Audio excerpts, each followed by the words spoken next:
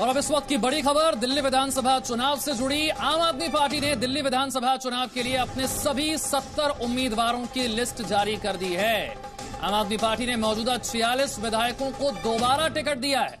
छियालीस विधायक एक बार फिर से चुनाव के मैदान में। अश्विनी गुप्ता, ज़्यादा जानकारी के साथ। अश्विनी, किन के टिकट कटे? कौन कौन से नए चेहरे?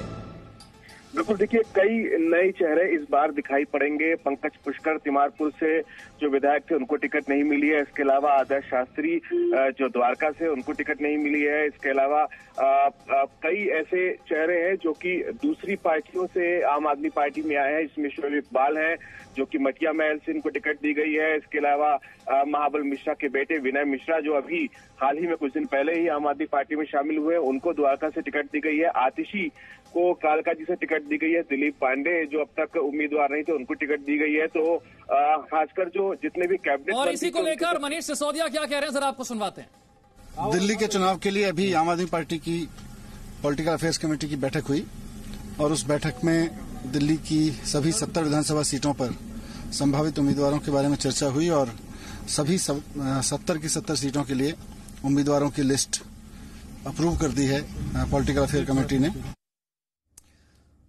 अश्विनी, मनीष को, मनीष सिसोदिया को हमने सुना, सभी उम्मीदवारों की लिस्ट जारी कर दी है और आम आदमी पार्टी, पहली पार्टी इस त्रिकोणीय मुकाबले में बीजेपी कांग्रेस आप में, जिसने अपने सभी उम्मीदवारों की लिस्ट जारी कर दी है।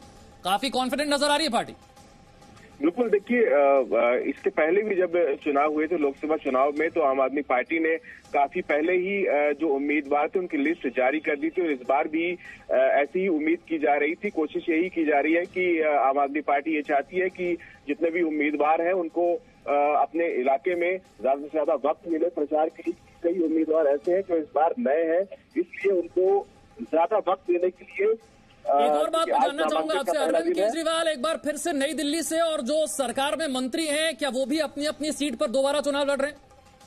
बिल्कुल, देखिए, जितने भी कैबिनेट मंत्री हैं, उनको सबको दोबारा से टिकट मिल गई है अरविंद केजरीवाल, मनीष सिसोदिया के साथ साथ सत्येंद्र जैन इमरान हुसैन कैलाश गहलोत, जितने भी मंत्री हैं, उन सबको दोबारा से टिकट दे दी गई है। इसके अलावा जो बाकी कई उम्मीदवार ऐसे भी हैं जैसे अमानतुल्ला खान ओखला से उनको भी दोबारा टिकट दी गई है। कई उम्मीदवारों को दोबारा टिकट दी गई सबने बताया करीब छियालीस उम्मीदवार ऐसे इनको दोबारा टिकट दी गई है।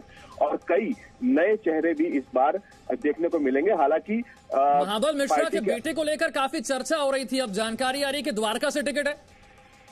जी देखिए बिल्कुल द्वारका से आदर्श शास्त्री विधायक थे। अब विनय मिश्रा जो कि मावल मिश्रा के बेटे हैं उनको टिकट दी गई है लेकिन मैं आपको बता दूँ कि टिकट बंटवारे को लेकर के कहीं ना कहीं सुखबकाहट और अंदर ही अंदर थोड़ी बहुत बगावत शुरू हो गई थी। कुछ विधायक पहले से ही विरोध कर रहे थे और अब जिन विधायकों को टिकट नहीं मिली है देखने को मिल सकता है कि आगे वो पार्टी के खिलाफ हो सकता है। कुछ नारेबाजी करें या कुछ प्रदर्शन करें इस तरह की चीज़ें बगावत पार्टी में देखने को मिल सकती है। नौ नए उम्मीदवार हैं और आठ महिलाओं को भी टिकट दिया गया।